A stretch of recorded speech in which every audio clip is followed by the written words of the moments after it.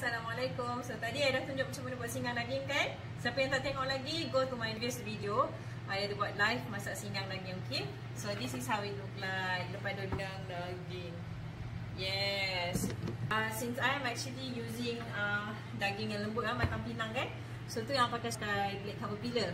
Okay, so I takut hancur daging yang jadi sangat lembut kan, kena dengan blade kan? Tapi kalau korang pakai daging biasa, tak payah pun. Okay, because daging biasa kan dia memang liat sikit kan So dia memang require 2 to 3 hours untuk dia lembut. Okay, tapi yang ni tadi I saja masak lama. Singgang ni yang specialnya Makin lama korang masak, makin sedap.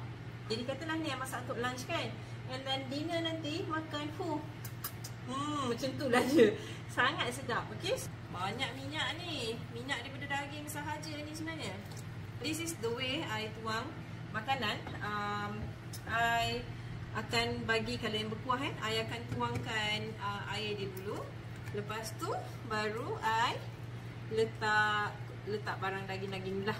Uh, sebenarnya I baru letak daging uh, garam tadi. Um, I memang tak suka letak garam awal tau.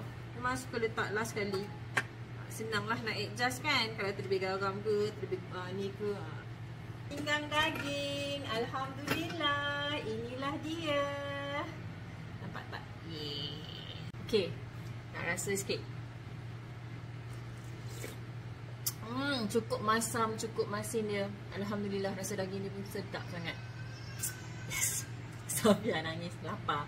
Okay, see you guys in next video insyaAllah. Assalamualaikum